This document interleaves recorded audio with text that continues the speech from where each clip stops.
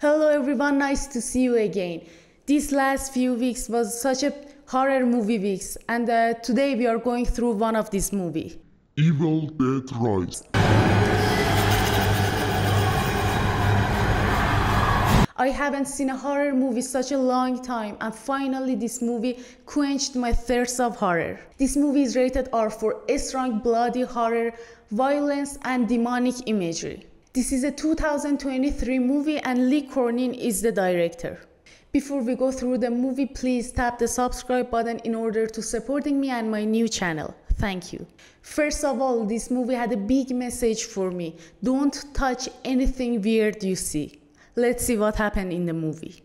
Beth is a cool aunt who went to visit her sister Ellie, who is raising three kids by her own. That night, kids went out to buy a pizza, but suddenly an earthquake happened, which resulted a hole on the ground.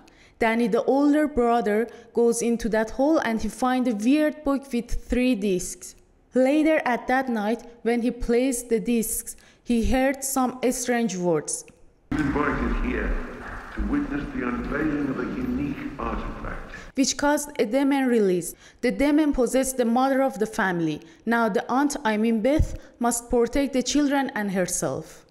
I really liked how this little girl played her role.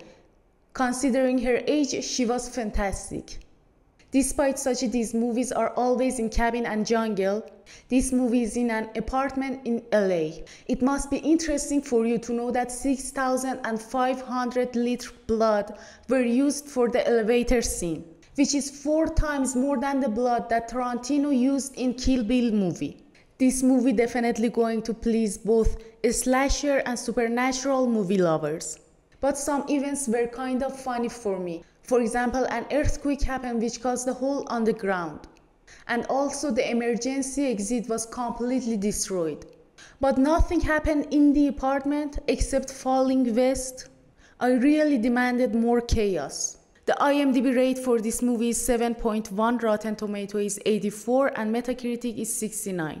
And I think 6 or 6.5 is a suitable rate for this movie. Thank you so much for watching. If you like the video, please tap the subscribe button, then send it to your friends. If there is any question or any mistake or any suggestion, please let me know. Love you all. See you soon.